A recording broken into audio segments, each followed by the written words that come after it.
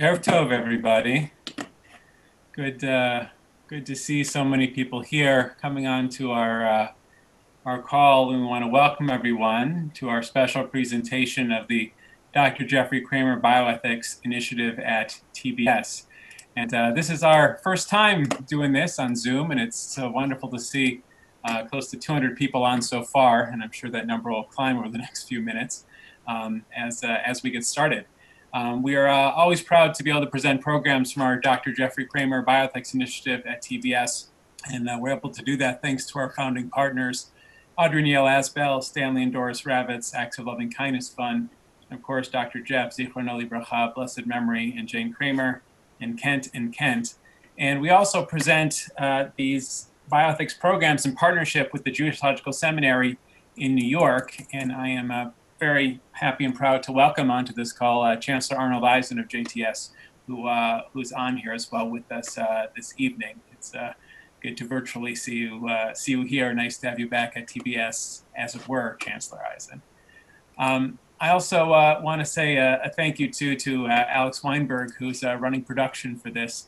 Mo has finally changed my name to his name, so it's not me in two places, and we appreciate his work in in making this happen. I also just want to note, uh, as we all know, we're on the Zoom format. It's our first time that we've done a program like this on Zoom. So uh, we're going to keep everyone muted except for our speakers. Um, and I want to thank everyone who submitted questions in advance because of the format and the number of people were not able to do questions during the uh, during the presentation or after the presentation. But we have a good group of questions from uh, that were submitted beforehand, and we're presenting that to our to our speakers. Um, as we were preparing for this, and uh, our speakers, Dr. Seth Rosenbaum, Dr. Joel Kravitz, and Dr. Jeffrey Skolnik, who I'll introduce more formally in a minute, as we are preparing for this, uh, Dr. Skolnik, who uh, uh, has a wonderful sense of humor, uh, suggested that I open it by, uh, by asking if there's a, a blessing for COVID-19, to which the answer probably would be a blessed for COVID 19. May God bless and keep it far away from us, like the old joke from Fiddler on the Roof goes. But we know, sadly, that it is not far from us. Um, it's actually quite close to us. Uh, no matter where we find ourselves, we know there are people in our community and, and people around the world and in our country who have uh, been infected with this, uh, with this deadly virus and um, our whole country and the whole world is uh, working to confront it. And uh, I'm very mindful that tonight we're gathering together for this program um, on a Rosh Chodesh Nisan, the beginning of the Hebrew month of Nisan, which began today, um, this, uh, this day that's ending. And there's a saying in the Talmud about Nisha, Nisan that says, B'Nisan galu, b'Nisan atidin ligael, which means in the month of Nisan, our ancestors were redeemed from Egypt, and in Nisan, we too will be redeemed. Now, what the Talmud's talking about, of course, is the redemption or the exodus from Egypt that we'll celebrate with, a, uh, with Passover in a couple weeks, uh, which I'm sure will be a very different Passover for many of us this year. Um, but our tradition reminds us in this saying that in Nisan our ancestors were redeemed from Egypt, and in Nisan we too will be redeemed, that our people have faced many difficult moments in our history and with each one, we've been able to prevail. And it's reflected, I think, best in the language of the Haggadah, which says, We've gone from Abdul Lecherut, from slavery to freedom, miagon lesimcha, from sorrow to joy, from Eva Yom from mourning to celebration, from Afela Laora, from darkness to light, to Mishibu Legula, and from slavery to freedom to redemption. And we know, as the Haggadah tells us, that God does not make this transition for us, but rather God helps us by giving us our values and pointing us in the right direction, and also helping give us strength to face our challenges. And today we're facing challenges in our families, in our community, with our students and our jobs. And I know this is especially the case for our medical professionals. I know that there are many doctors and nurses and hospital administrators and mental health professionals that are on the call tonight and are on the front lines of this pandemic. I just want to start by acknowledging that and saying thank you to all of you for all of your heroic efforts to uh, help combat this pandemic. We appreciate everything that you're doing, and it truly is Avodat Kodesh. It truly is holy work. And we're so appreciative of your efforts and your expertise in helping us navigate this very challenging time. We are blessed to have many medical professionals at TBS, and I know that a number of them have been working directly with patients and on research for COVID 19. And we're grateful that tonight our presenters, Dr. Seth Rosenbaum, Dr. Joe Kravitz, and Dr. Jeffrey Skolnik, we appreciate them volunteering their expertise to have our conversation tonight. And in a moment, I'll introduce them, and each one of them will make a presentation from their experience on COVID 19. And once I finish, we'll move to the questions that uh, we've collected over the course of the last few days. So let me introduce our presenters. Uh, presenting first will be Dr. Seth Rosenbaum. Uh, Dr. Rosenbaum did his internal medicine internship and residency at Cooper University Hospital and a fellowship in infectious diseases there as well. And he received his master's of medical management.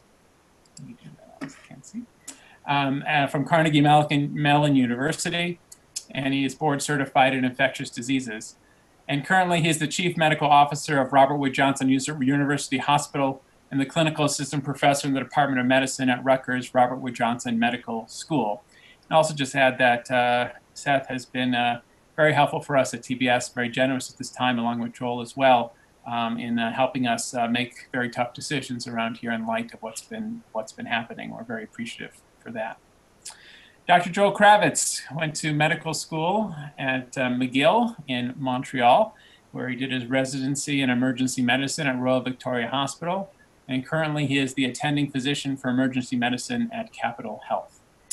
And uh, where Dr. Rosenbaum is infectious disease and Dr. Kravitz is emergency medicine, Dr. Jeffrey Skolnik has the research side of our team. He's the vice president of clinical development at Inovio, a small biotechnology company outside of Philadelphia that studies DNA medicines in the treatment of infectious diseases and cancers. Dr. Skolnik is a pediatric hematologist, oncologist, and has published many papers on oncology clinical trials. He's also an attending physician at the Children's Hospital of Philadelphia. And uh, I know I've learned a lot from them as we've uh, prepared for, uh, for tonight, and I know we're all looking forward to hearing uh, their expertise and, and help us navigate uh, this difficult moment uh, in our in our history. And uh, we're going to begin tonight with uh, with Dr. Rosenbaum, who's going to start speaking from the infectious disease perspective, and then from Dr. Kravitz, and finally from Dr. Skolnik. Dr. Rosenbaum. Thank you. Good evening, everyone. First and foremost, I would like to thank uh, you, Rabbi, and the entire TBS community for having us on this evening. We hope uh, to uh, answer a lot of the questions and concerns that you all have regarding the current COVID 19 pandemic that we are facing here in the United States as well as worldwide. We will do our best to try and answer as many questions as we can, and we hope you find this evening very informational. Next slide, please.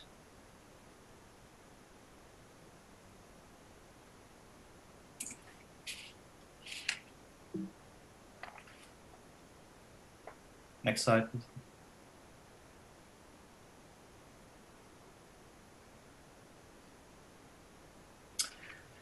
To give us a, a timeline of, of what, can we go back one, please, Alex?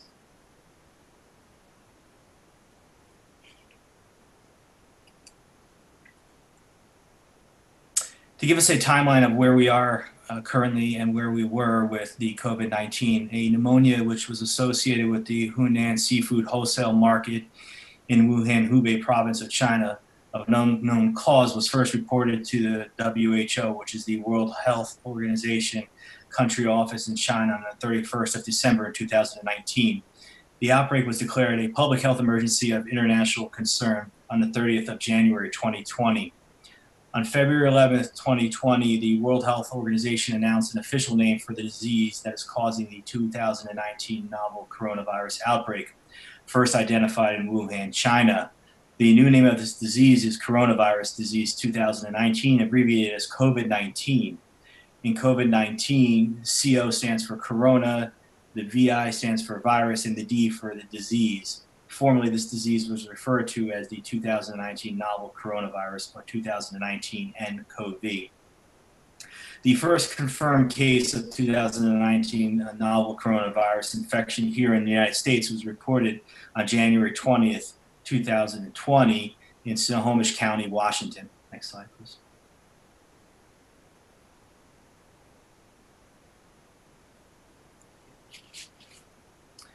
What I would like to show to you is, is, is a uh, snapshot of what the current state of affair worldwide regarding the coronavirus. Uh, this was taken and it's fully accessible to the public. It's a uh, Center for System Science and Engineering at Johns Hopkins, and the address, uh, the web link you can see is above GISN data maps.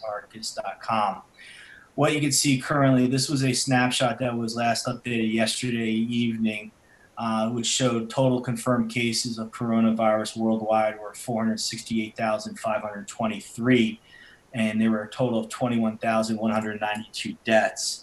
Uh, as of this evening, I was I updated the slides, and we currently are at 526,044 cases worldwide, with 23,709 deaths associated with the COVID-19 pandemic. As you can see, it is widespread worldwide at this time uh, this is fully accessible, so feel free to access this uh, data on your own time. Next slide, please. I zoomed in on New Jersey, specifically our area in Camden County, New Jersey. Uh, as of last night, we can see there were 61 confirmed cases in Camden County, New Jersey. Uh, of, of them, one of them was a death. Uh, Currently, uh, those numbers have gone up significantly in New Jersey overall uh, as the testing becomes more prominent in the United States. Next slide, please.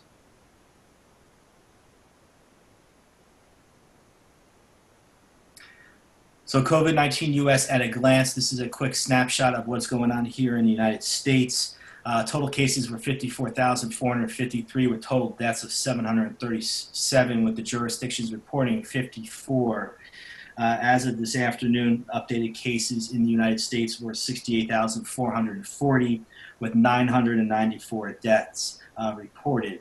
March 4th, 2020 was the official first identification of New Jersey's first presumptive positive case of the novel coronavirus. Next slide, please. This is uh, also free to the public. It's a, a newjersey.gov or nj.gov website. They have a dashboard that's updated regularly. As you can see, this was last taken yesterday afternoon at 2 p.m. Uh, in New Jersey alone, there were 4,402 positive cases with 62 associated deaths. As of 2 p.m. this afternoon, unfortunately, uh, those positives have skyrocketed uh, up this time to 6,876 cases with 81 deaths and 73 of them being in Camden County of the total positive cases. Uh, today marks the date that had the highest increase in positive case reporting in New Jersey, with over 2,400 cases increased from as of yesterday. I highlighted on the left in blue Camden County test results as of yesterday, but as of today they are 73. Next slide, please. Uh, as a note, also, New Jersey is now uh, second in the nation uh, of reporting positive cases, secondary to New York. Uh, of the cases that have been reported in the United States by source of exposure, meaning how patients acquired the disease, uh, as of yesterday, travel related were 584 with close contacts of 986. And what we call in the medical field under investigation or a source has not yet been identified was 52,883. Uh, to date, uh, those numbers have increased to uh, 636 cases of travel related, 1,074 close contacts. Under investigation are 66,730, bringing the grand total to 68,440 cases currently here in the United States. Next case. Uh, this graph was taken from the CDC uh, website, which shows the number of specimens that were tested for what we call the SARS-CoV, or otherwise known as the coronavirus, by CDC labs. And what I want to point out here is that in the beginning of, of the epidemic, uh, there were very few uh, tests being sent to the CDC. And as you can see, as, as, the, as the pandemic moves to the right on the bottom, the color of public health labs continued to increase, but the, those that were sent to the CDC labs still remain quite low. And as you can see, going from now all the way to the far right, the amount that are in the public health labs have decreased because of the, the uh, emergence of the uh, private commercial labs, also apparent right now. And the take home point here is that we are seeing significant lags in the turnaround times from the CDC labs for us getting results, as well as quicker turnaround times for some of the commercial private labs, uh, which makes it a lot easier for us to help uh, take certain patients out of isolation or give diagnosis in a much more rapid time frame, which is really important when you're when you're dealing with epidemiology and public health risks. Next. So I would like to uh, go over a few symptoms of what the coronavirus uh, causes. Uh, and just some, some uh, background, coronaviruses are a large family of viruses which may cause illnesses in animals or humans. In humans, there are several known coronaviruses uh, that actually cause respiratory infections ranging from the common cold to a more severe disease such as the Middle East Respiratory Syndrome, otherwise known as MERS, as well as a severe acute respiratory syndrome, otherwise known as SARS, which we had uh, an epidemic recently. The most recently discovered coronavirus causes the coronavirus disease, which we talked about earlier, which is one COVID 19. Reported illnesses have ranged from mild symptoms to severe illnesses and death for confirmed coronavirus diseases. These symptoms may appear, what we say is the incubation period, uh, 2 to 14 days after exposure, However, we have seen cases uh, uh, averaging somewhat longer or somewhat shorter. That's why it's important to think about the quarantine period that, that your physician may give you if you are possibly exposed to someone with the coronavirus. Other symptoms that are common are fever, cough, shortness in breath. And I do want to point out if you have any of these symptoms, it's extremely important and paramount to contact your healthcare provider immediately if you are experiencing any of the above symptoms. Next slide, please.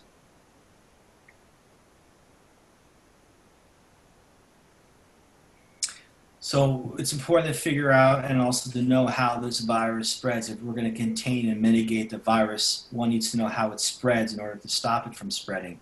There is currently no vaccine to prevent the coronavirus in 2019, uh, in 2020 as well. And Dr. Skolnik will talk about the current process and the current trials and investigations undergoing for vaccines for, for the novel coronavirus.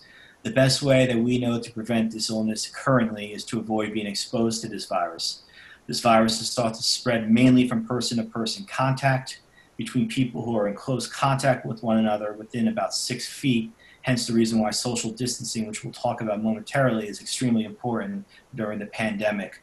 It is thought to spread through what we call respiratory droplets, which are produced when an infected person coughs or sneezes. These droplets can land in the mouths or noses of people who are nearby or possibly be inhaled into the lungs. These droplets can also land on, on surfaces and can last for several hours and even up to several days, depending upon the surface that it lands upon. Next, please. So, how may one protect yourself and others? Wash your hands often with soap and water for at least 20 seconds, especially after you have been in a public place or after blowing your nose, coughing, or sneezing.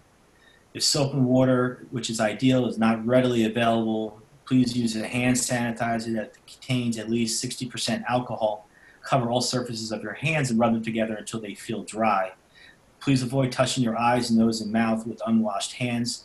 Reason being is that you may have touched something that could be contaminated with coronavirus, and if you touch your eyes, nose, or mouth, there's a good possibility that you can self-inoculate uh, with the virus, causing you to become infected and, and ill. Please avoid contact with people who are sick. That's why it's extremely important that if you are sick, please stay home and don't report to work. Uh, please avoid contact with people who are sick. And currently, we're doing something called social distancing please put distance between yourself and other people if the COVID-19 is spreading in your community, which we are, are very well aware that it is here currently, especially in our backyard here in Cherry Hill, New Jersey. Stay home if you're sick. That's one of the best pieces of advice that we can get. Uh, if you are sick, please stay home, take care of yourself, and please get medical care to help you through these times. Please cover your mouth and nose with a tissue when you cough or sneeze, or use the inside of your elbow and what we call the vampire technique, Throw those used tissues in the trash. Please don't lay, leave them around on the counter so as other people can pick them up and possibly get infected with the virus. Next slide, please.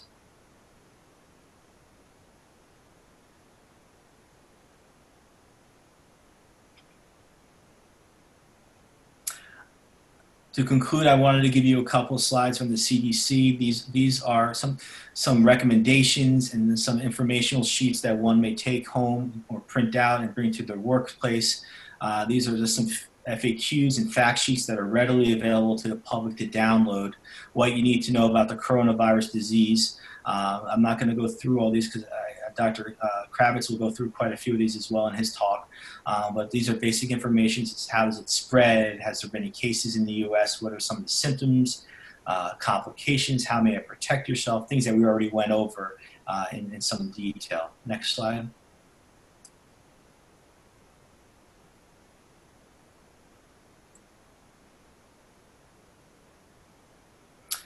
And to conclude, I wanted to leave you with how to stop the spread of germs. This not only applies to coronavirus, this applies to any germs that you can encounter. Please be mindful that even though the topic of, of the day is coronavirus, we are still in the influenza season. Um, so it's very important to help spread the respiratory illnesses like COVID as well as influenza.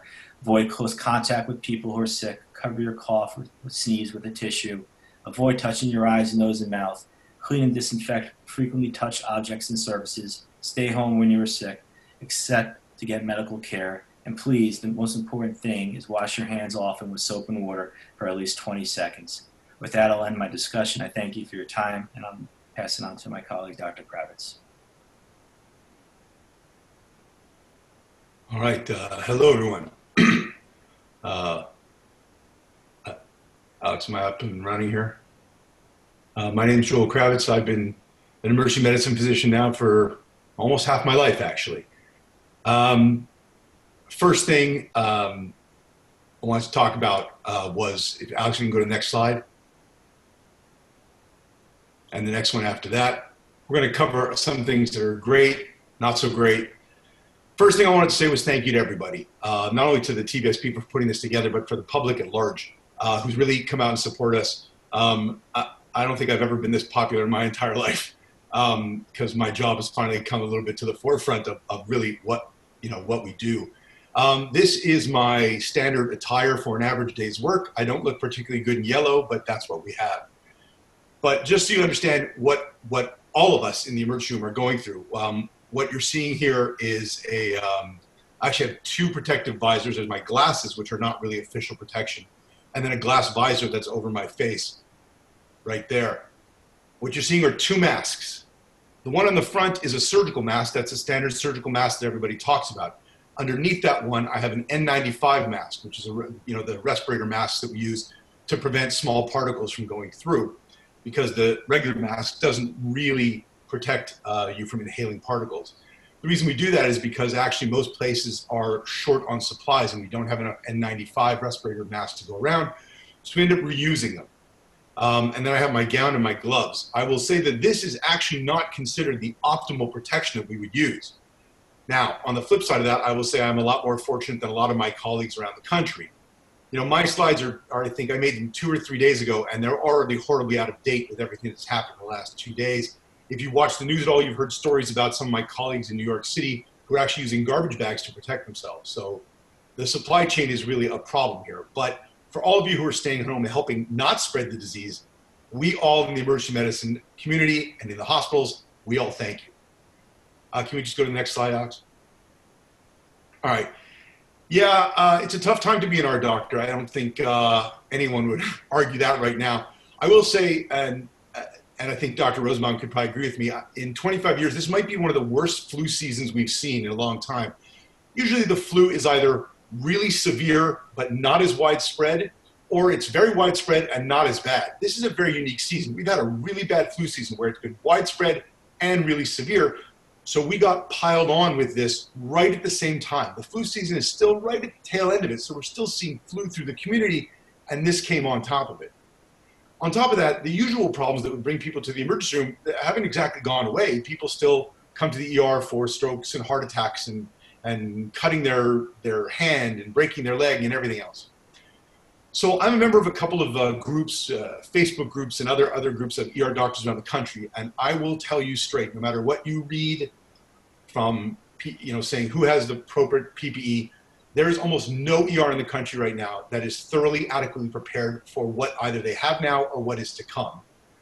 Um, nobody has enough PPEs to last. They may get through a little bit of time, but not all of them. And in fact, the reason I wrote bandanas there is that the CDC has actually issued a recommendation that if you run out of regular surgical masks, they recommend using bandanas, which I will tell you flat out does not protect you against anything. Almost no ER has enough isolation beds or ventilators. Uh, if you watch the news, you know these things. And the other thing, and this, this last point isn't really a critique on anyone, there's really no place that has stable guidance. The guidelines on what to do change in the middle of my shift. At least they did at the beginning. They're a little bit more stable now. But we are, I think, as a medical community, running to catch up. So when a lot of people ask us questions, the most common thing that we say is we honestly don't know. To put this in perspective, uh, the flu, I mean, we have 150 years of data on the flu, mortality rates, how quickly it spreads, who it goes to. You have to keep in mind that this disease, this condition, is five months old. That's probably about the time that you would need to put together a decent trial of something, let alone understand the disease. So the amount of knowledge that we have in just five months is actually pretty incredible. But it really just changes all the time. Uh, next slide, if we could. All right, so this is you know the typical COVID symptoms, and this is right off the CDC website. Dr. Rosenbaum had it on his slides as well. Uh, within two to 14 days after exposure, you will present with fever or cough or shortness of breath, which is great information, but unfortunately that loosely covers probably more than a third of what I see in the ER right now.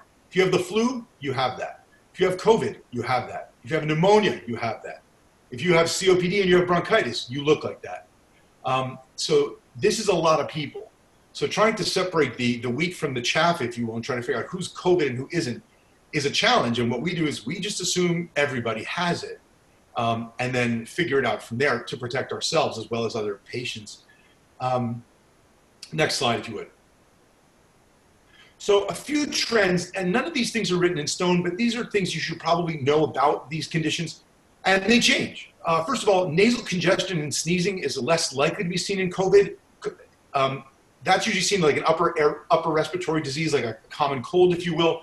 You don't really see that with the with uh, with coronavirus. Likewise for sore throat, it's a less common symptom. Can you get it with it? Yes. It just trends less like that. Uh, generally speaking, flu is more rapid. If you ever had the flu, the flu hits you pretty quick. Once you have it within about 24 hours, you feel like you've been hit by a train. COVID takes a couple more days. That said, um, the ones that I've seen who have um, deteriorated, once they deteriorate, they deteriorate very quickly. But they will have symptoms for a few days before that. Um, diarrhea was originally thought to be less common in, uh, in COVID-19. And actually, one of the strains of flu that's been out this year has actually had a lot of gastrointestinal symptoms. So we were really operating on an assumption that diarrhea was a common symptom of the flu and almost unheard of for coronavirus. That's starting to change now, where we're seeing some people with abdominal symptoms.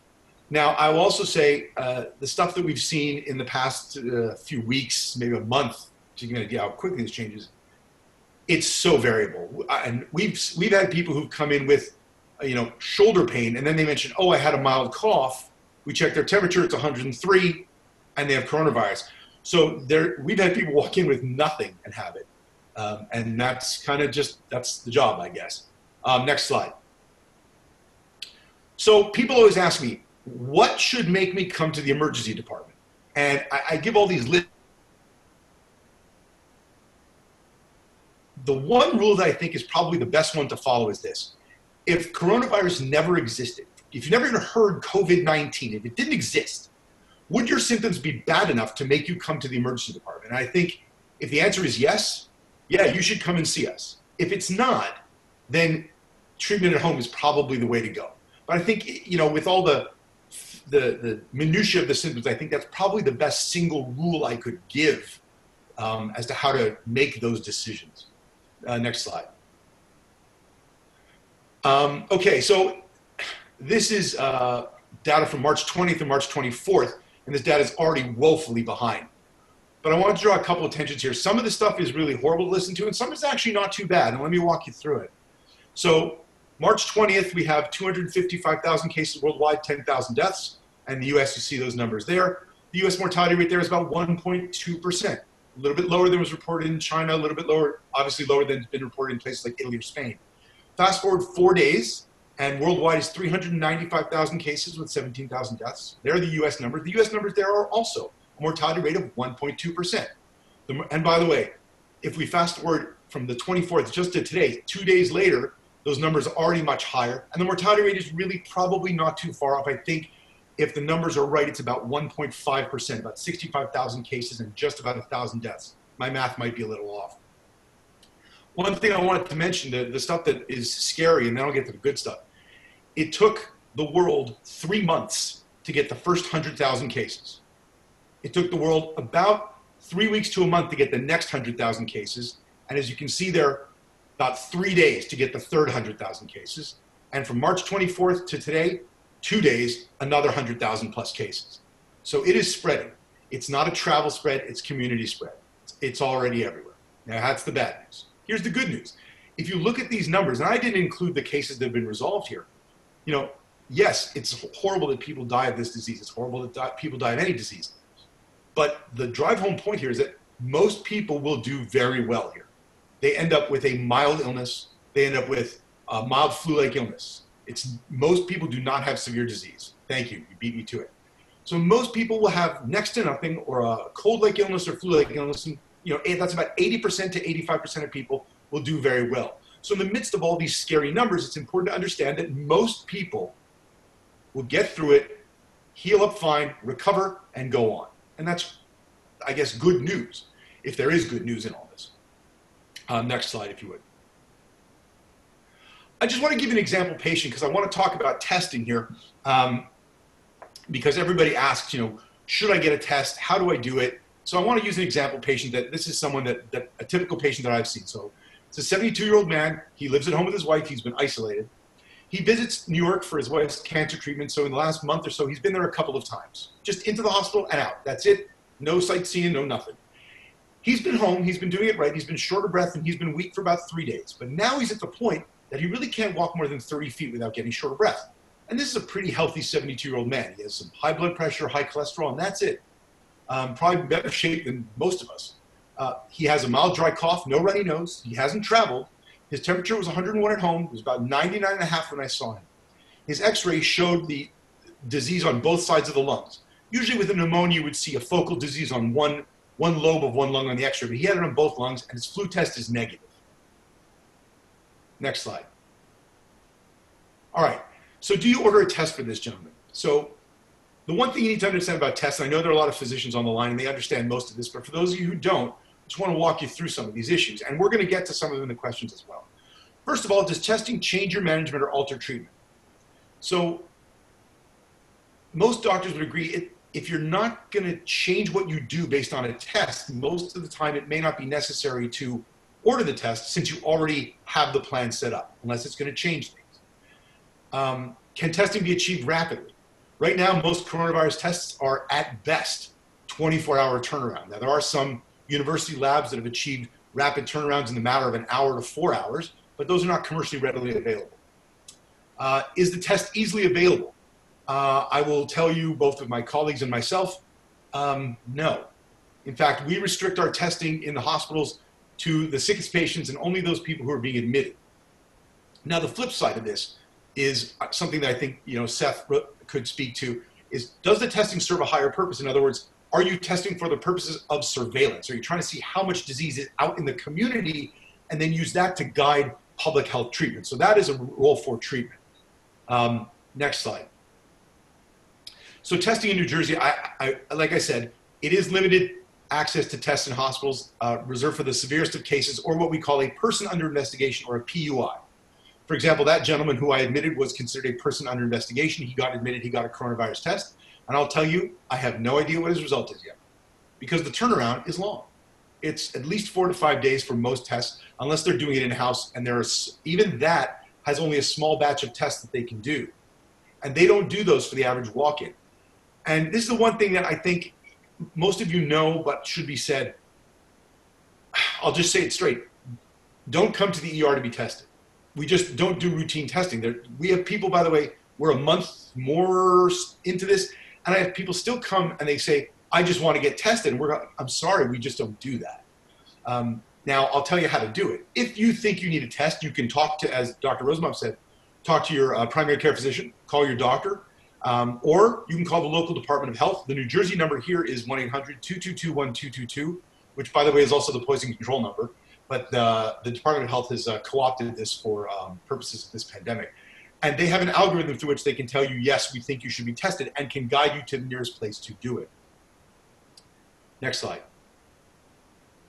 As far as treatment goes, um, we're gonna we're coming up on the end here. For most people, it's a home remedy. It's rest and fluids and Tylenol. Uh, I've had a couple people ask me, uh, what about ibuprofen, Motrin, Advil? So for those of you who, who know, they're all the same thing. People say, oh, I heard that, that ibuprofen is, is very bad. Uh, you really should not take it if you have uh, coronavirus.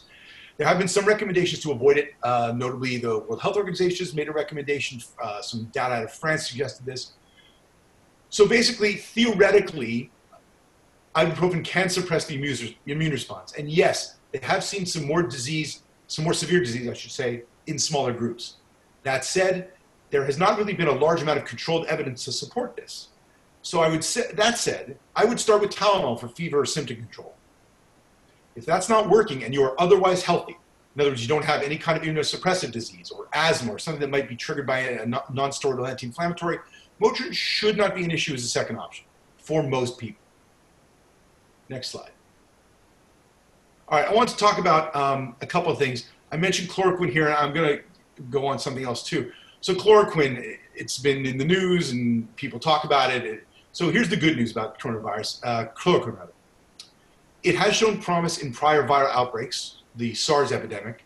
It has been touted as having broad spectrum antiviral response. So there is some antiviral effect to chloroquine, that's true. That said, people have said, oh, it's been around a long time, it won't kill anybody. That is absolutely untrue. Um, it is toxic in the wrong dose, lethal in the wrong doses. And if anyone's been following the news, uh, there was a story of a couple in Arizona who heard the news about chloroquine and took chloroquine phosphate, which was an antiparasitic for their aquarium. Um, he died, and she's in critical care in Arizona. So they clearly did not get uh, appropriate medical advice. Um, the bad news about chloroquine, or I say that it's not bad necessarily, is that success with SARS was never formally tested. Once they used it for a few patients in SARS, there were never large scale tests to see if it was truly a good antiviral. Every expert around, um, from infectious disease to emergency medicine to public health, would all say that it requires further testing. It does have significant side effects. It can cause dizziness and blurred vision, but more importantly, it can actually cause significant cardiac side effects and arrhythmias, particularly when combined with other heart medications or even some antibiotics. So the bottom line for that is I wouldn't expect its use in the short term, and your doctor, frankly, shouldn't be prescribing it to you because there's just no evidence for it. Just don't switch the slides for one second. I, there's one other thing I wanted to mention, which I, like I said, things have changed so rapidly. I didn't get a chance to put this on the slide. There's a lot of stuff that's come out in the last day or so about vitamin C uh, and taking a large dose of vitamin C as treatment for coronavirus.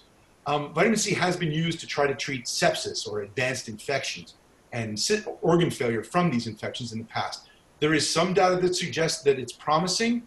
Um, there hasn't been any data that says, you know, drinking four gallons of orange juice is going to make you feel better, or buying all the vitamin C at shop at uh, CVS or whatever is going to make you better. That that's not established yet. Um, but in case someone had that question, I thought I'd at least mention that. Um, I think my last slide is a good way to look at social distancing, um, explained by Candy, and I want to thank my wife for this one. So let me put it to you simply. If somebody gave you a bag of 100 Skittles, and I'll take this a step further. If somebody gave you a bag of 100 Skittles and said, you can have all you want, but two of the Skittles are lethal, and about 13 of them will land you in the critical care unit of your local hospital, would you eat them? No. You would just not eat Skittles until you knew they were safe. Social distancing is basically the same thing.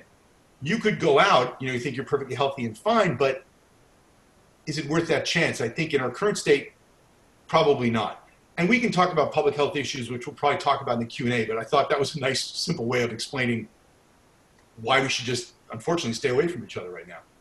Um, I thank you for your time, and I'll hand it over to uh, Jeff Skolnik.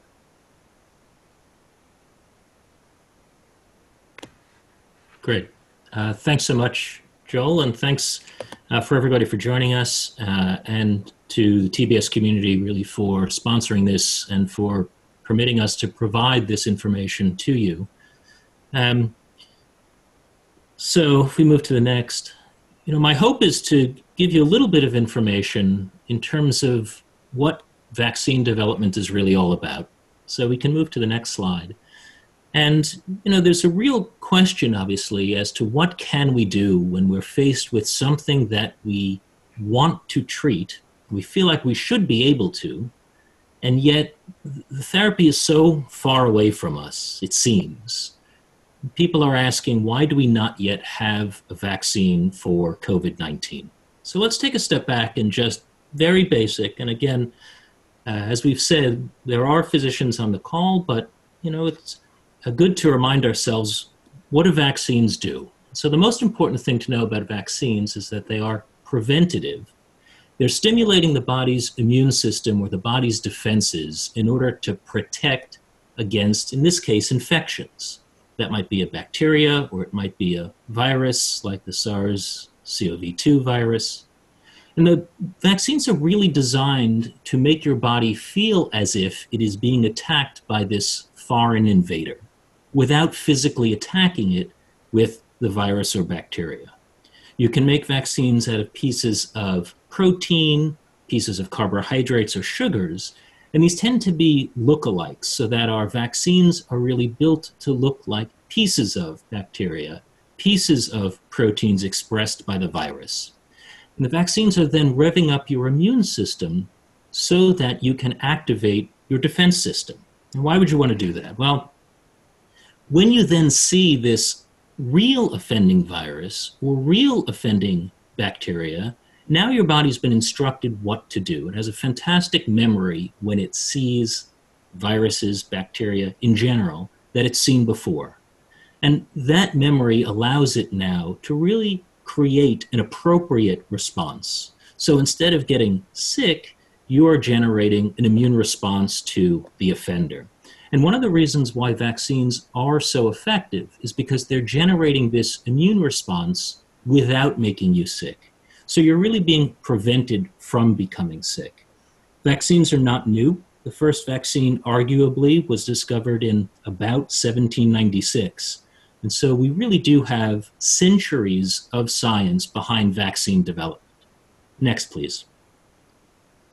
So Dr. Kravitz was talking a little bit about chloroquine, and I wanted to just explain the difference between vaccines and therapeutics. And at its core, vaccines prevent. The real goal of a vaccine is to keep you from getting sick. There are certain vaccines that are also therapeutic, but in the case of COVID 19, we're looking at generating vaccines that keep you from getting sick in the first place. That's very different than, for example, chloroquine or an antibiotic that's a therapeutic to treat you when you get sick. And when we talk in a few moments about the companies that are developing both vaccines and therapeutics, you'll see that there's a tremendous amount of research that's being done on both fronts, not just in the treatment, but also potentially in the prevention of. Next, please.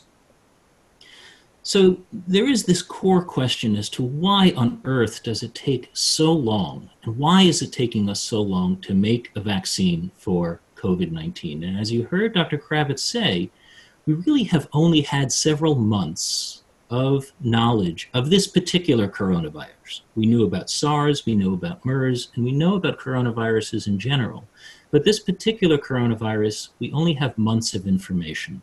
If you take a look at the timelines in general to generate a new vaccine, you're talking about 12 years. It takes a tremendous amount of time to develop new drugs, but specifically new vaccines. And I'll mention why in just a moment. We're really hoping, if we go back, thank you, we're really hoping, though, that we can do this within two years. So you may have heard uh, some of our uh, lawmakers, for example, government officials, uh, members of the NIH and of the CDC, and also individuals who are now developing these preventative medicines that we anticipate having a vaccine within 12 to 18 months. So 18 months would be about two years from when we first identified this virus. And that would probably be one of the shortest timelines ever seen to generate a vaccine. So why does it take so long? So the first thing you need to do is you need to physically design what it is that you are going to give to people, and then you need to make it. You need to test it on non humans. That's usually, for example, mice, it may be rabbits, it may be non human primates. That takes at least a year, plus or minus. Then we need to test it in humans in what we call phase one trials. These tend to be very small, and they are really initial looks at whether or not the drug product or vaccine is safe. We rarely can even ask questions as to whether or not they work in these first phase one studies. In the case of COVID 19, we are going to try to do that to speed up the process. Once we understand about safety and tolerability, we ask now, does it work in a phase two trial? That can take years. And then finally, in a large, usually randomized phase three study, which may have hundreds, if not thousands, of patients, we ask the real question does this particular vaccine work better than, for example, a placebo, salt water, or a sugar pill? Then the FDA has to approve this new therapeutic. That takes six months to a year. And there is then ample safety data that will come in the years that follow.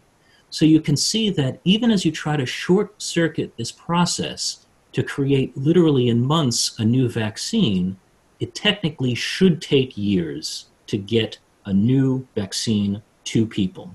And one of the biggest challenges for vaccine development is that as opposed to often the way drug development works, where we're giving a therapeutic to sick patients, with vaccines, we're giving something to healthy people to keep them from being sick. So that means that the safety and the tolerability of a new vaccine is really, really important. It cannot show any real side effects in order to be introduced into a healthy patient subject population. Next, please. So, you know, the question then obviously is how do we go faster? And again, as we've said, we are going pretty fast. The vaccines that are generated for SARS CoV 2 are based upon what's called the S protein or the spike protein of the coronavirus. And thankfully, there's similarity across S proteins in uh, coronavirus in general. And so scientists can use this particular information to speed up their vaccine development. In fact, we've been able to speed up vaccine development instead of, as we've said, months to years to get animal data. We can do that in weeks. And to get into the clinic to first test humans in safety studies, we've gone from instead of years to months.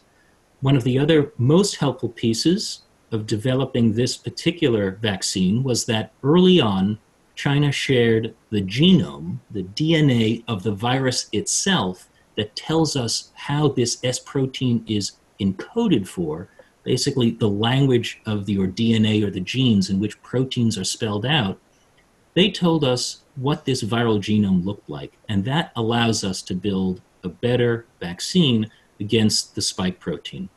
I can tell you from personal experience that people are working on developing vaccines around the clock.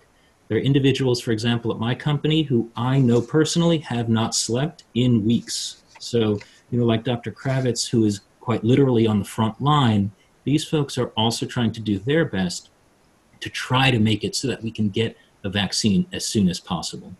FDA has agreed to expedite, in certain cases, the review of documents that will allow the process of getting these vaccines tested and ultimately and hopefully to the public faster. And of course, as you know, as recently as within the last 24 hours, the government has now committed trillions to this, previously billions, but hopefully we now have the resource to do this.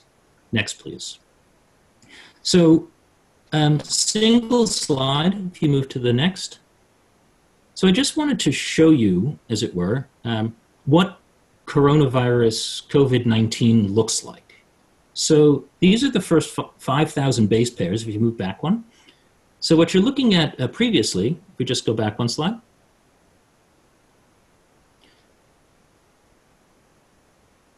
Thank you. So um, that image is of the first 5,000, what we call base pairs of the virus itself. So you see a lot of letters, A's, T's, G's, C's. That's essentially what builds the virus protein. That's what China was able to share with us and what's enabling us to build our vaccines. That's it. What you're looking at is causing tens of thousands of people to get sick and die, and hundreds of thousands of people to be sickened. Just that. It's just a bunch of letters.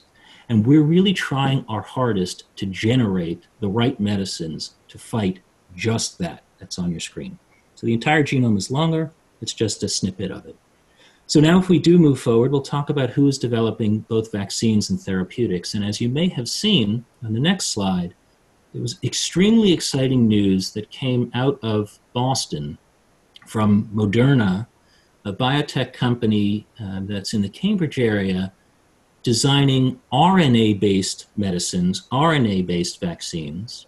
They dosed their first patient in the first human trial of a COVID 19 vaccine on the 16th of March on the West Coast in the Pacific Northwest. It was a very exciting time. Actually, Moderna was able to do that quite literally in two and a half months from the laboratory to the clinic and get a patient a novel vaccine. It will still take the 12 to 18 months before we know whether or not this is appropriate for everyone. But the fact that they were able to do that in literally weeks to months, that's a real paradigm shift. That's a real change. You're also seeing companies, for example, like Gilead, who are using antiviral treatments, different antiviral treatments that they may have used for other types of illnesses. Again, you may have seen that they had an Ebola therapy a remdesivir that they're now trying for COVID 19. Again, the thought with antiviral treatments or therapeutics in general is that we can either develop new or even repurpose things that we know can fight viruses and bacteria, take them off the shelf and try them. But it still takes an appropriate amount of time to ask the question as to whether or not they're safe and tolerable, and more importantly, whether or not they work, as Dr. Kravitz said before pulling chloroquine out of your aquarium shelf is not a way to treat coronavirus. So companies that you see on your screen, AbbVie, Eli Lilly, Gilead, GSK, my company at Inovio, J&J. Again, we've mentioned the success that Moderna has had, Pfizer and Regeneron, Sanofi, Vir Biotech, and there are now literally dozens of others that are testing antiviral therapies, building vaccines, and really trying to get new medicines into the clinic and then to our larger patient populations so that we really can avoid this disease. Next.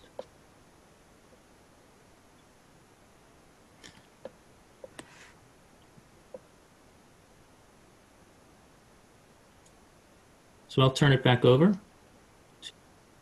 and to Alex, and we can start questions. All right. First, I want to thank Jeffrey and Joel and Seth for their presentations and their work in, uh, in putting this together.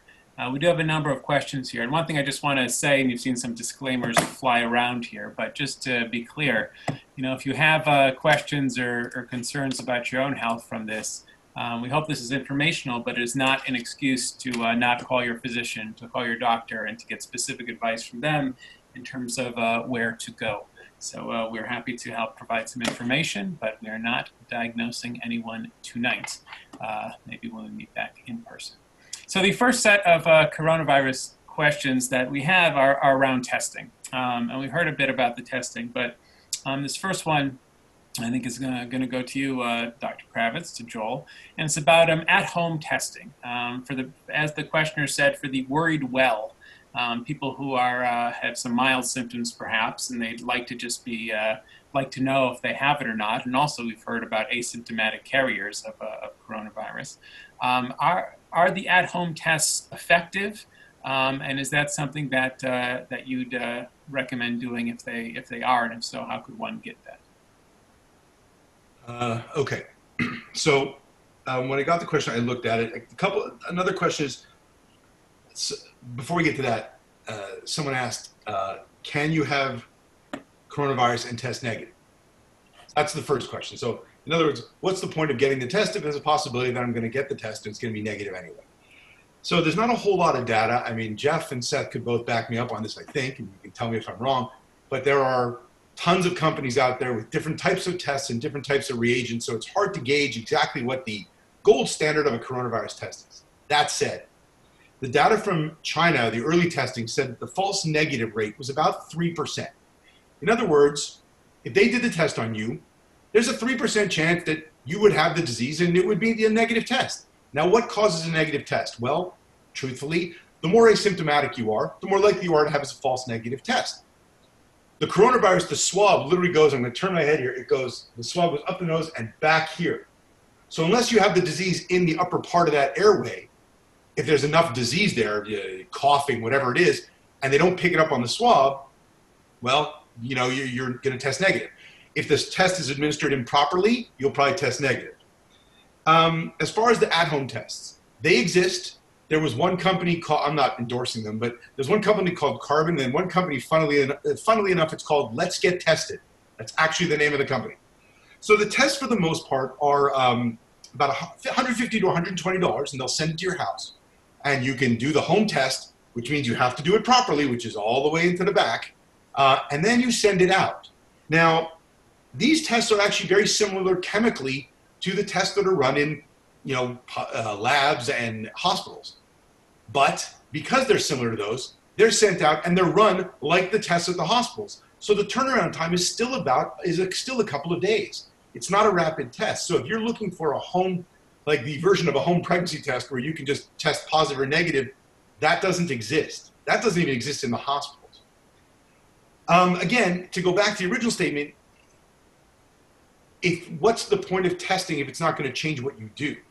If you're well and you still have to take care of a loved one, you're still going to practice the same hygienic practices you would otherwise. There's no reason not to do that. So I have to say, and unless Seth or Jeff uh, have an opinion otherwise, I actually wouldn't recommend the home tests because I don't know that the the cost and the turnaround time gets the average person any mileage, if you will. Seth, do you want to, have something to add? Just to uh, add on to what Dr. Kravitz was saying, uh, you have to be careful with the home testing kits because testing that's available here in the United States is FDA approved. It goes through a rigorous testing cycle itself to make sure it's properly uh, manufactured. There's the liquid that's in the test, which is called the media, which needs to be three milliliters. Some of these test kits we found have not had the proper amount of reagent that's necessary for the labs to run the test. So just because you have this kit at home, you need to realize that not only do you have to do it properly and get the specimen, you have to send it to one of the commercially appropriate labs, such as LabCorp or Quest or some of the independent labs that you know in the area. You need to also to check with the lab that they would accept these these these home kits, because not all the labs would accept kits that were done by individuals, not healthcare providers. So a word of caution, like Dr. Kravitz said, when you are using home kits, if you so choose, uh, to make sure you're doing it properly. Number one, number two, it has the proper reagent in it, and number three, that the, te- the, the lab that you're going to be sending it to will accept it in the format that you're sending it to. Thank you. Okay. All right, this uh, this next question I think is one that's uh, on a lot of people's minds now. This comes from Suke Levine, who's asking about Passover coming up, and uh, of course, it's hard to be away from family together away from family on Passover. Um, and she asked about her daughter, Cantor Sarah Levine, and about her coming home for the holiday. Um, what are your thoughts? And we'll direct this one to Dr. Rosenbaum. You know, about flying versus driving. Is it safe taking the trip or not taking the trip? And, and also ask you, you know, kind of about what about getting together for Seder's, even if people are uh, are local? Is another question that we're getting quite a bit. Um, are there precautions people could take, or, uh, or, or what do you think about travel right now? Yeah, it's a very good question. It's a very difficult question to ask. You know, of, you know, this time of year we're all prepping for Pesach and we're doing our shopping if need be, and we're getting everything ready. And the thought on our mind is, are we going to be able to be with our family and loved ones? Um, I do have to say that all the respected authorities, uh, whether it's the CDC, the WHO, or Dr. Fauci, all have come out with the recommendations that travel is not recommended at this time. Uh, it's it's we all know that everyone wants to be with their loved ones during the holidays. It's very difficult to say to try to social distance yourself or not be with your loved ones uh, during the holidays. But the recommendation that I feel uh, would be not to travel at this time uh, to avoid possible exposure. Uh, you know, social distancing is important to flatten this curve we've all heard about. uh, by being with loved ones in groups of 10 or more, or even with elderly folks or with immunocompromised folks, really puts everybody at risk. Something we really wanted to try to avoid, as difficult as it is to understand or comprehend at this time. Uh, they're all alternative. You know, we recommend alternative measures to try to, uh, you know, continue the Seder in any way, shape, or form. And I'll just add to that, um, the uh, Committee on Jewish Law and Standards of uh, the Conservative Movement, of which I'm a member, just uh, today or yesterday, all these days kind of come together, um, released uh, you know similar guidance and uh, trying to have uh, people stay where they are for the Seder and permitting um, video conferencing software like this, Zoom or FaceTime or something like that, to meet up with families for the holiday. And also, there are a number of leniencies in terms of uh, food if that's something that's hard to get uh, Passover food. Thankfully, in our area, um, that's pretty uh, plentiful at the moment, but if it becomes less so, some guidance there too. And that's something I'll just say from uh, TBS's perspective, we've been talking about a lot, and early next week, we'll be sending out uh, some information about ways in which we can uh, help support people who, who need support for Passover if they're on their own or if we help with food or ways in which we can uh, try to connect, uh, even when we're physically distant, to connect spiritually over the holiday. In addition to what we'll be doing at Shabbat and other times, uh, other times too. You know, it's uh, really hard one to point I wanted to add, if I could. Yeah, Joel, go ahead. So, it's funny, Seth and I talked about this question uh, yesterday. Um, so there's really two issues. Is the first one is should you travel? And the answer, I agree with him. I agree with Dr. Rosal Clee. The answer is probably not. Then the next question is, if you're going to travel, what would be the options? Because I know she said, was it should she fly or drive? Um, I think depending on how far it is, I, again, if you're forcing us, and we talked about this, if you're forcing us to choose, I would probably choose flying.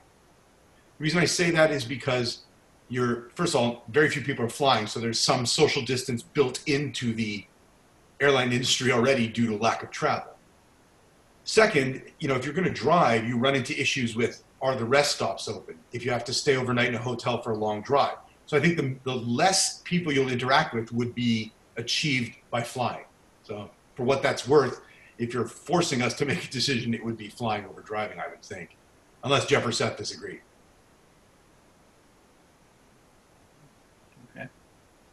I just think at this time, it, the best motive, the best option is to really to limit travel at all at all costs if you're able to do it, just to minimize the risk of exposure at this time.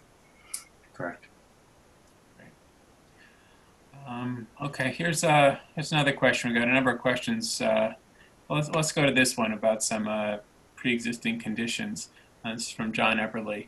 Uh, for people with autoimmune conditions, is there any clinical data on risk for them? And we know that they're high risk, but what exactly does that mean? Is it high risk equivalent to an 80-year-old, a 70-year-old? High risk is it when we're talking about autoimmune conditions and uh, COVID-19? So um, the CDC and the WHO, as well as other respected authorities, have identified several risk factors or people that they uh, have stated are higher risk for acquiring uh, COVID-19. Some of the ones, obviously, as, as Rabbi said, you know, you know, age greater than 65 is definitely is uh, up there.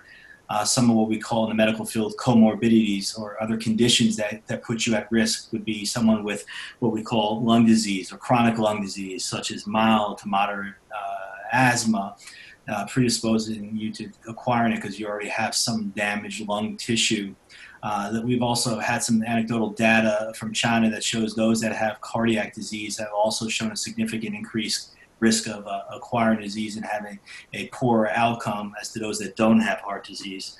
Uh, one of the areas that we are very concerned about, and that goes back to the question initially of traveling to visit with loved ones and elderly folks, is the immunocompromised. Uh, we have to be careful with those that are undergoing cancer therapies or treatments for rheumatological conditions because their immune system has been weakened and puts them at higher risk to, to acquisition of the disease. So those are other individuals that are at higher risk uh, to acquire the disease. And if they do acquire disease, uh, they have more likelihood of, of having a severe form of the disease as if someone who wouldn't have those comorbidities or pre-existing conditions. I mean, the truth of the matter is, I mean, the, the most common answer I think most of us are going to give is we don't really know. I mean, there's not enough data out there to say this disease is necessarily more at high risk than this disease or having lupus makes you 10 years more at risk. Eh, there's just not enough data there. you know, the general, what exactly what Seth said is absolutely true. But in terms of saying specifically this does that to your risk numerically, I mean, nobody knows that yet. We're, we're not anywhere near that. All right, this question is for uh, Dr. Skolnik, um, and it comes from Philip Korth, who grew up at TBS, and he is also the vice president of the Undergraduate Bioethics Society at the University of Pittsburgh. A, a proud Dr. Jeffrey Kramer Bioethics Initiative graduate, I guess. Um, and uh, he wanted to ask, and you touched on this a bit in your presentation, but uh, he, he wants a little more information. But if there's any research associated with the 2002 SARS outbreak that might be of use now for researching ways to combat COVID 19. He feels like there hasn't been much reporting about that. Since they're two strains of the same, corona, same species of coronavirus, he's curious if there's uh, any learning can be done one to the other.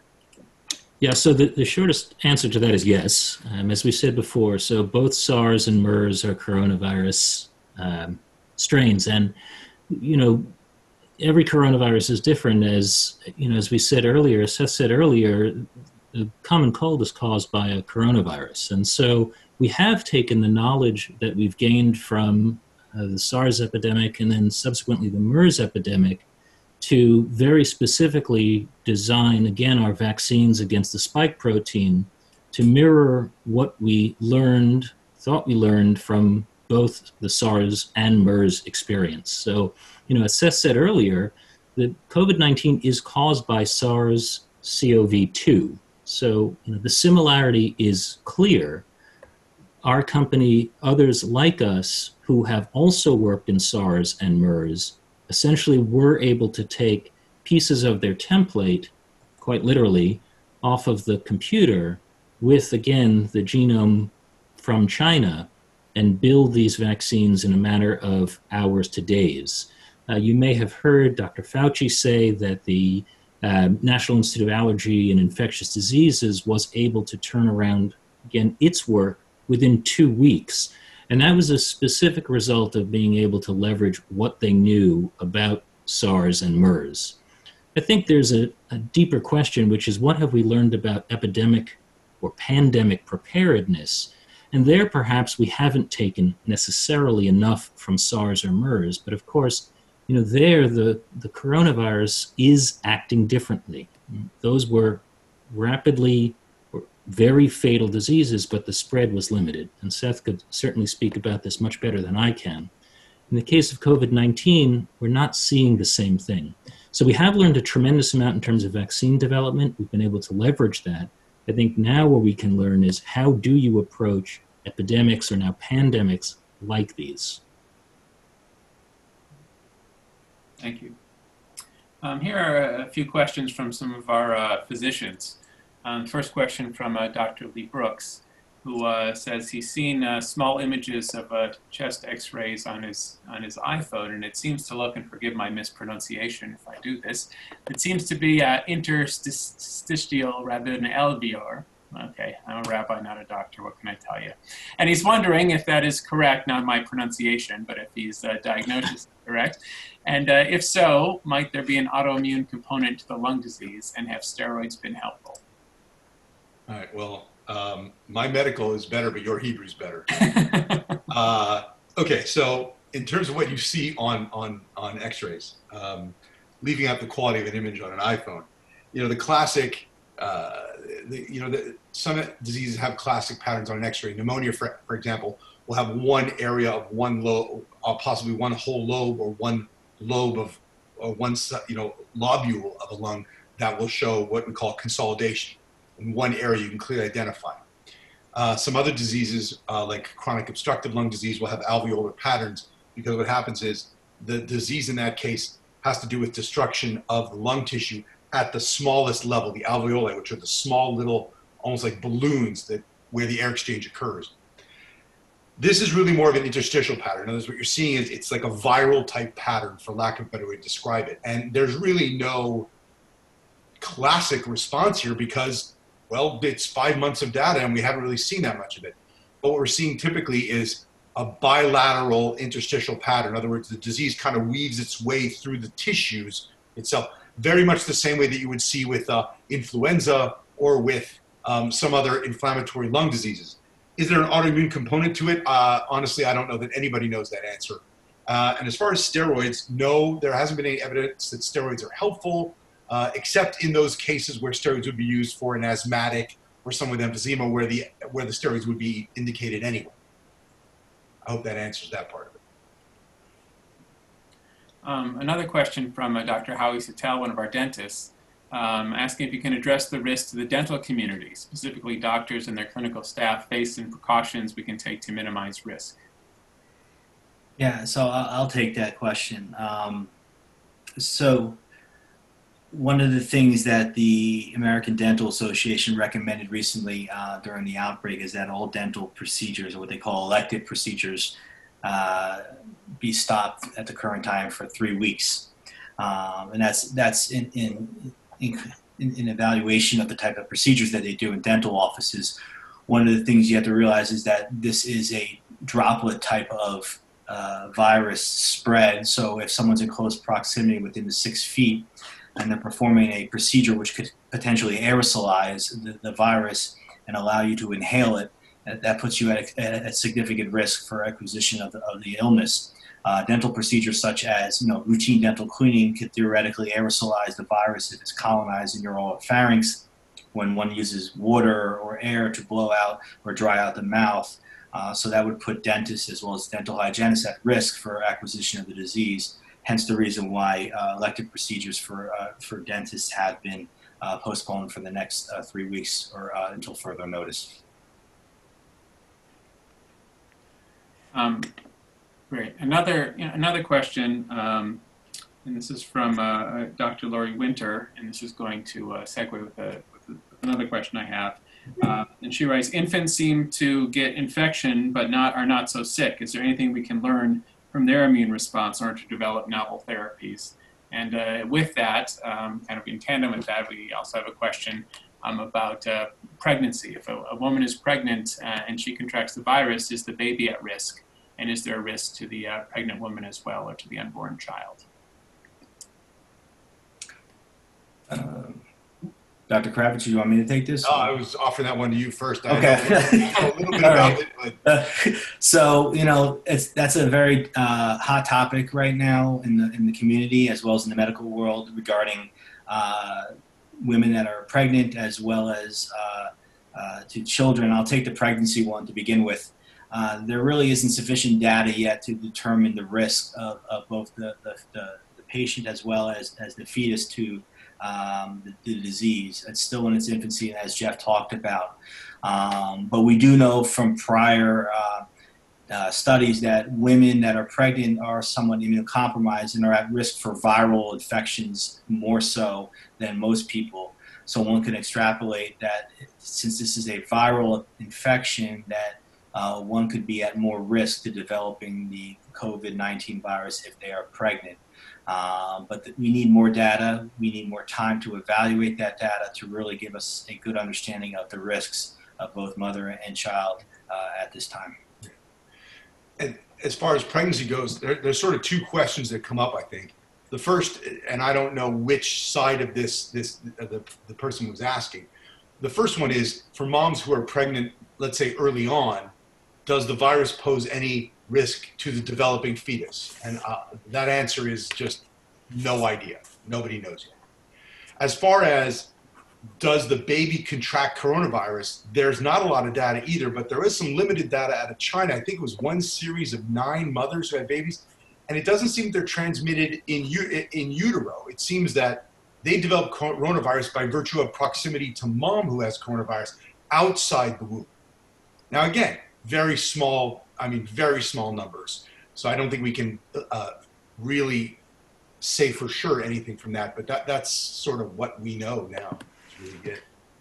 And I would just add, um, so in terms of, you know, and again, I, I, would have both Seth and Joel who know more about this than I do, certainly in the front lines, in terms of perhaps why younger children are not seeing as severe uh, disease phenotype, as it were, you know, we don't we don't entirely know, but one of the things that we recognize from other coronavirus-based illnesses like SARS and MERS was a phenomenon called ADE, antibody-dependent enhancement, And what was thought to be the case in those individual diseases was that people who had been exposed to coronavirus similar to the illness they were experiencing were essentially primed to react to that illness and so often triggered an aggressive immune response.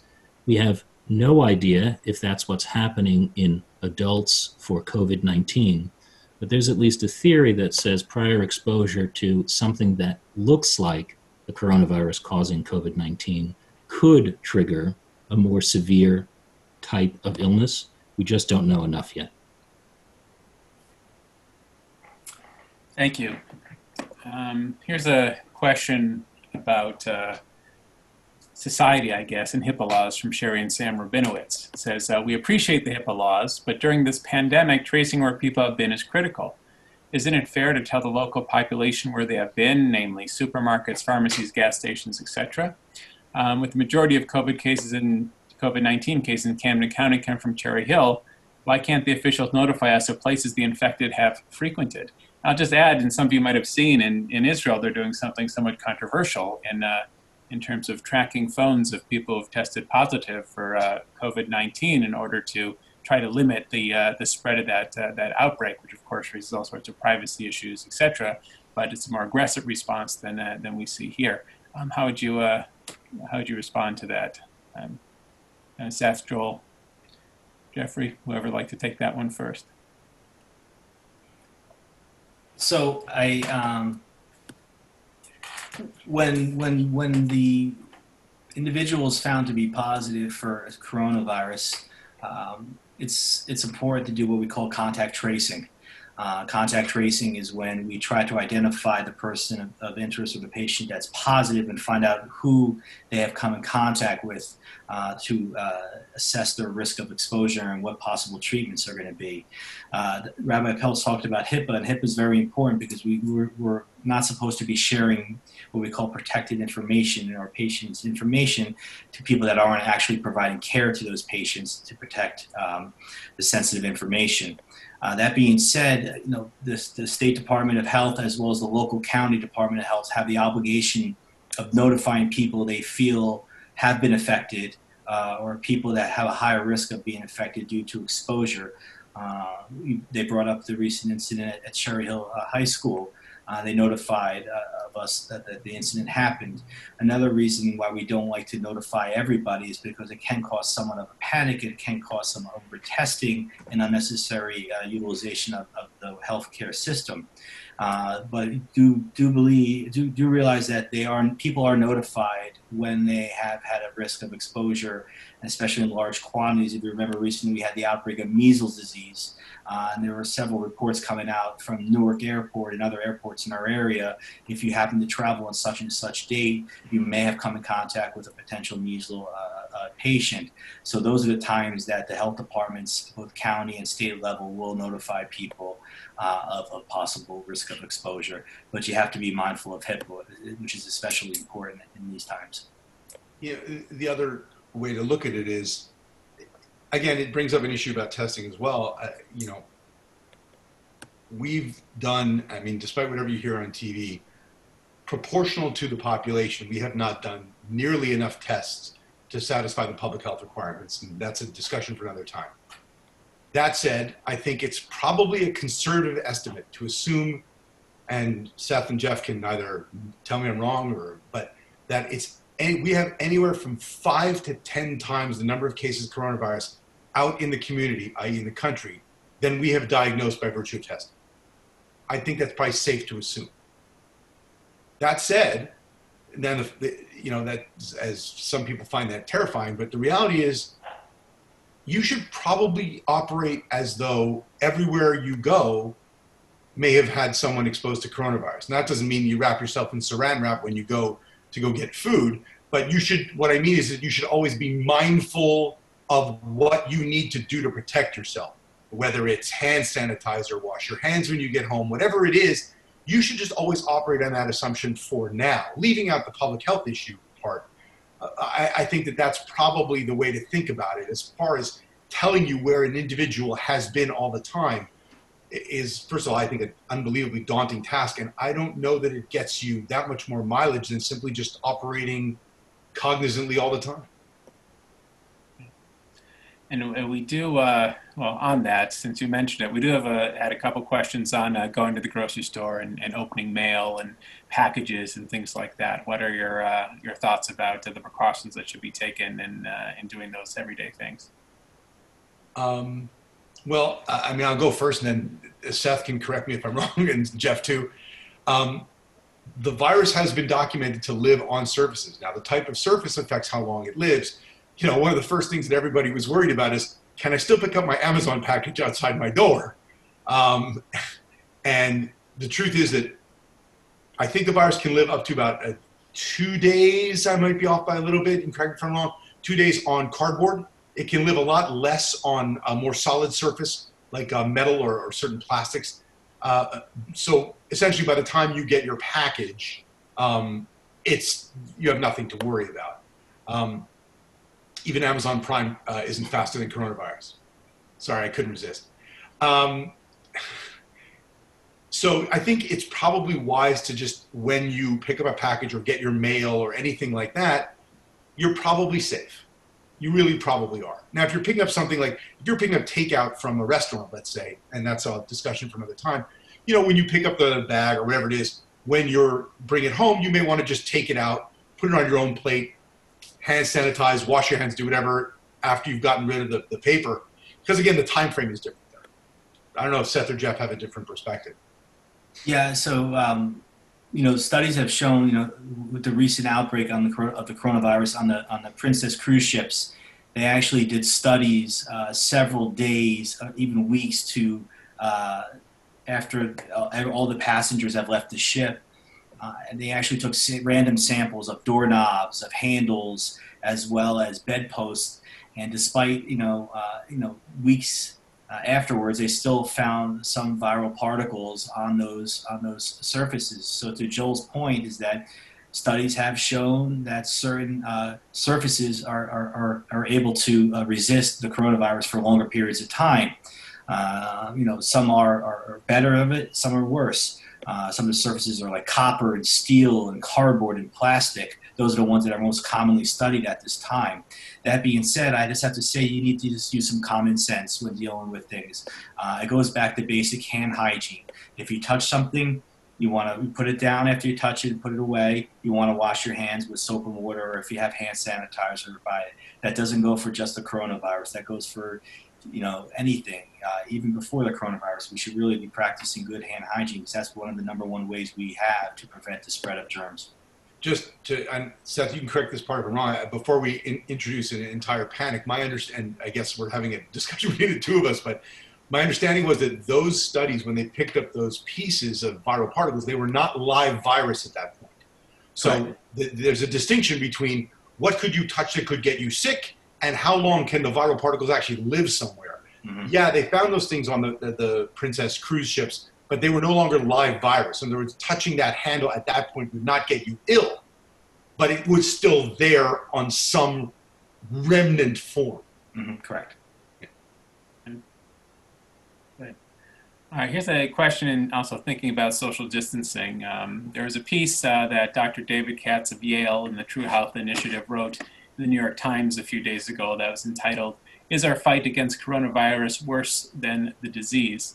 Uh, and in it, he argues that there may be uh, more, a more targeted way to address the pandemic that doesn't require those not in the vulnerable categories to remain home and be as fearful, which creates not only economic havoc, but also might prevent someone who has another condition to go to the hospital. Um, how would you respond to, uh, to, to what he wrote, and how would you respond to what he, what he wrote? Seth, you want to start, or Joel? Joel, go ahead. I, I actually, yeah, I, I read this one day. I was in the, uh, I was working in the ER and I had nothing else to do, so I read it. Um, so I'll say this, you know, some of what he says is correct, and some I, I have a problem with. So I, I jotted down some notes, so I'm going to look down. I apologize. So some of the things he says is that what this has basically shown us is that we have a resource constrained, fragmented, and perennially underfunded public health system. Yes. I don't think we can argue that point.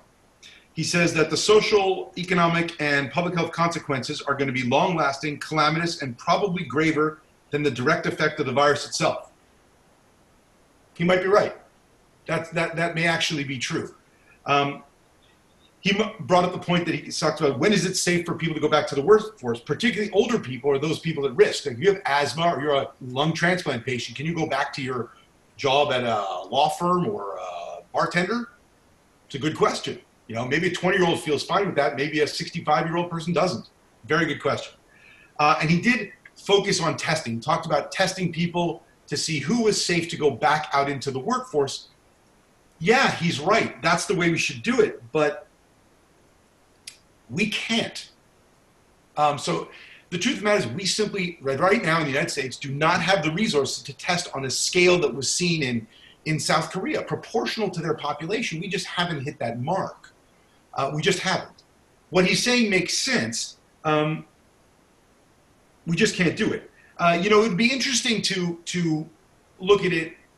For example, if we could do blood tests on everybody who's had the disease, check them for immunoglobulins, which would be a marker of, you know, either active infection or recovery, and say, okay, if you have these immunoglobulins in your bloodstream and you don't have symptoms, you are effectively immune, and you are cleared to go back to work, and then gradually reintroduce everybody into the workforce. That part would make sense, but his article sort of said it, what it didn't address was even if you're protecting those people at highest risk, which are you know the elderly and, and respiratory diseases and cardiac, we talked about all that. He doesn't really talk about what do you do about those people who live with those people. Mm-hmm. Do you quarantine them as well because they're living with someone who's at risk? And that doesn't answer the question. So he does make a point uh, in that yes, the, the, the treatment of this may be worse than the disease itself in some pers- in some aspects. The other thing he should uh, that I disagreed with was there was a, a, talk about you know about creating not only economic havoc, but he said something like that could prevent someone who should go to the hospital for a heart attack. Now, yes, I know there's a lot of people who are here. Stay away from the emergency department. You know, don't go near it. Um, I'll say this on behalf of every one of my emergency medicine colleagues across the country we're open. If something bad is going on and you feel you need to see us, we're there. That doesn't change. The point of saying stay away from the ER was like if you're asymptomatic and want to test, don't come for that. We are available for almost anything else. So on that part of it, I would have to say on behalf of everybody who I know who does emergency medicine work, that part is incorrect. I hope that answers uh, the question from the, the caller. Seth, do you want to jump in or can I just make a couple of? Go right ahead. So I mean, I, I, would just go back to something that uh, Joel said before when, when he spoke, which is, well, I'd say three things. So the first is that right now, as far as we know, COVID 19 is at least twice as infectious as the flu typically is. And so if one person gives one person the flu, coronavirus, you're giving it to two people. It's also 10 times as deadly, potentially, right? That may in the coming days come down it's at least three times as deadly. But I think most importantly, as Joel said before, if 80% of the cases are either minimally symptomatic or potentially not symptomatic, then that means that we have the potential to introduce or reintroduce into the workforce individuals who are not sick, as Joel just said, in the absence of testing, who would potentially put other high risk people at significant risk. I think that's really the challenge here is we just can't yet identify when it's 100% quote unquote safe to re-enter the workforce. And arguably, if you could protect, if you think about it theoretically, if we all literally sat in our homes for two weeks and had contact with no one, arguably the virus would begin to go away. Now that's really hard to do, right? And it's not perfect, as we heard. The virus can live longer than that potentially.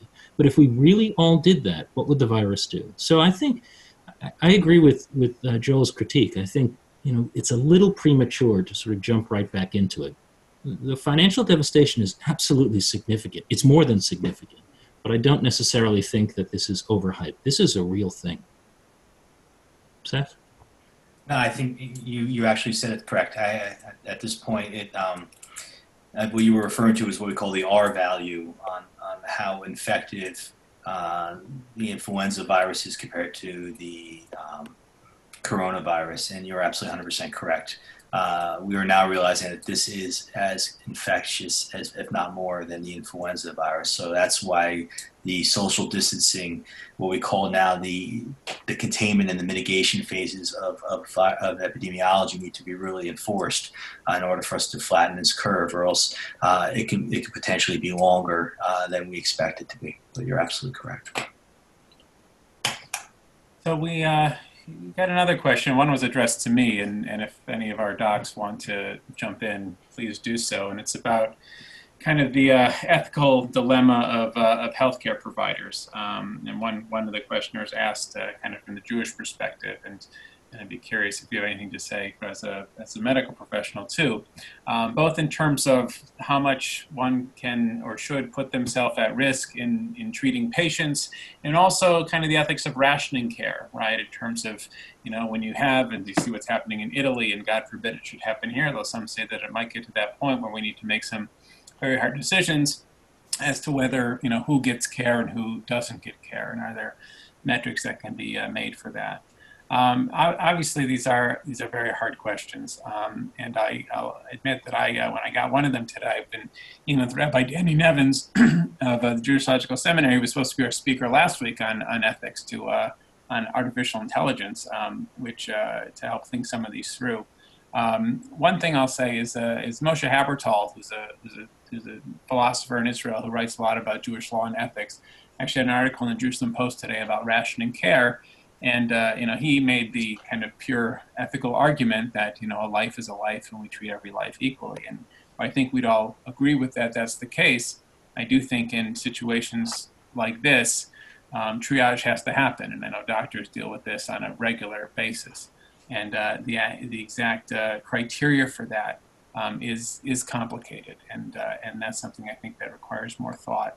Uh, in terms of treating patients, you know, it's uh, know, it, it's a mitzvah to be a doctor, right? Rapo Yerapeh, the Torah says, one should surely try to heal patients.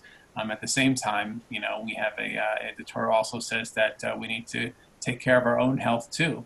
So I think it is um, maximizing the precautions you can take in order to do your jobs. And if, as we were saying before with the question from uh, Dr. Satel um, about dental um, um, procedures and things, that anything that is not pressing that uh, might put someone at risk should probably be pushed off, but things that are pressing, um, and you have someone right before you who needs care, um, you know, one needs to take the necessary precautions and, and to do that. But I think that this is something that even could be a follow-up session that we could look at that, uh, to delve a bit deeper into. Curious if any of our doctors have any thoughts on any of those questions. Um, as a guy who basically does that, I don't do that stuff every day, um, but um, so I, will I'll be open and honest for now. I, have done this job for about 25 years. Um, I, every time I say I've seen everything, something else happens. Uh, but I can honestly say this is probably the first time in 25 years where when I walk into the emergency room, I think twice for a second. And I've taken care of people with Ebola, and I've taken care of people with every permutation of disease imaginable at this point. But this is the first time that I walk in. I'm like, you know what? I need to be extra careful. Um, there have been situations where you know I've been involved in in multiple traumas, and we've had to make decisions as you know who's going to the operating room and who isn't. Um, those are tough decisions. And if you watched any of the interviews with uh, the intensive care physicians in Italy, um, it's it's not this is not an easy decision. How you make that call, I don't know. And, and I suspect it's on some sort of utilitarian level. I guess would be the coldest way to do it, although that's not an answer either. Um, I don't think that the most of the countries at the point they have to think about that yet. Uh, to be honest, I think there are sections in New York where they are 24 to 48 hours from having to make those decisions, from what I'm hearing, where it's going to be very hard decisions about when when all the respirators are used and they're split up so they can handle two patients at the same time and they still can't handle the volume. I think those decisions are going to be made, I'm guessing, in the next couple of days. And then as that trickles down to other communities, I, I think people are going to have to make those decisions. How you make it is, um, it's, it's one, I mean, it's just one of the hardest things you'll ever have to do, period. I don't so, know Yeah. So I would like to take it from the hospital administrator side of this, uh, not only being a physician, but being a hospital administrator. One of the most difficult things to do is, is, not, to, is not to be able to provide your staff and your patients with the necessary resources. There's only so much of, of the resources that can go around. Um, and to say to, to your staff that you're going to have everything you need to take care of these patients is, is what you want to say. But in the, but the, the, the reality is that we're coming to points of breaking points where physicians and hospitals are not going to have what we need to, to help people. And we're already seeing, as, as Joel alluded, in New York, and it's on the, you know, the Daily Post headlines of, of physicians and nurses wearing garbage bags for gowns. We go to medical school to help people, to take care of people. We don't go to medical school to make decisions that somebody else should be making above us uh, in regards to life and death. Um, it's a very difficult decision to make. Uh, some of the data from Washington some of the physicians have already talked about, uh, you know, withholding care and choosing who is going to get the ventilator if there's one ventilator left, if there's two people, one of, of the advanced age and one of the young age, who's going to get it. These are decisions that we, we never want to make. Uh, but unfortunately, these are decisions that are being thought about at this time. Um, so, do we want to do that? No. Will come to that? Possibly. We're starting to see New York facilities run out of necessary equipment to help people. Uh, that's why it's it's so vitally important to stay out of the hospital if you don't need it. Social distance yourselves, take care of yourselves, hand hygiene, uh, and look out for one another uh, because we are getting close to that tipping point. Uh, in the next one to two weeks, I think is really going to be uh, vital to know where we're going here, especially in the Northeast. And, all right, our uh, final question for the evening, and then we'll we'll close things out. Um, it's the question I think that's on everybody's mind, and I think I know the answer, but um, you know we'll put it out there anyway. So when's this going to be over? and I think that means you know the social distancing and also just the COVID nineteen crisis, and and along with that, you know, uh, a question came in once the you know once the curve flattens and restrictions begin to lift you know, how will people who are at risk, elderly, immunocompromised, how will they know how to proceed? Um, what sort of guidance do you think they'll they'll have to have and will have to do before they return to uh, to normal life?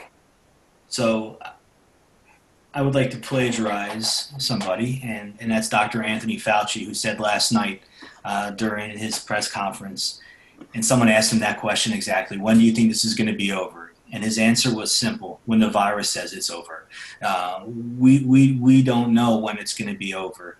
Um, we can do all that we can do in regards to containment and mitigation. But the data from China said that the plateau before the flattening of the curve took about two months. South Korea took about a month, about a month or so. Um, it's difficult to assess. It's difficult to predict. We don't know. Um, but we do know what we can do to help flatten that curve and get, get us to the point where we want it over sooner or later. Um, so unfortunately, like how we started this talk this evening, there's a lot of things we don't know, that being one of them at this point. Yeah.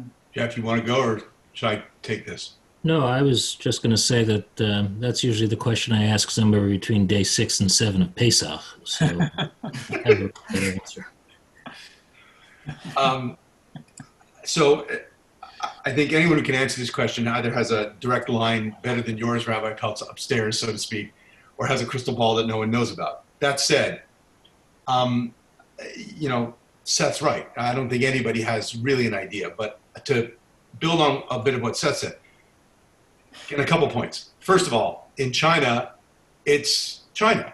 They have the ability and the power and authority to put everyone in their house, and you cannot come out for any reason for 14 days, 28 days, whatever it was, and that's it. Now, we're doing, I think, a reasonably good job in the United States managing to keep 330 million people in their houses, but they don't stay in their houses. So there's a little bit of that cross interaction that occurs.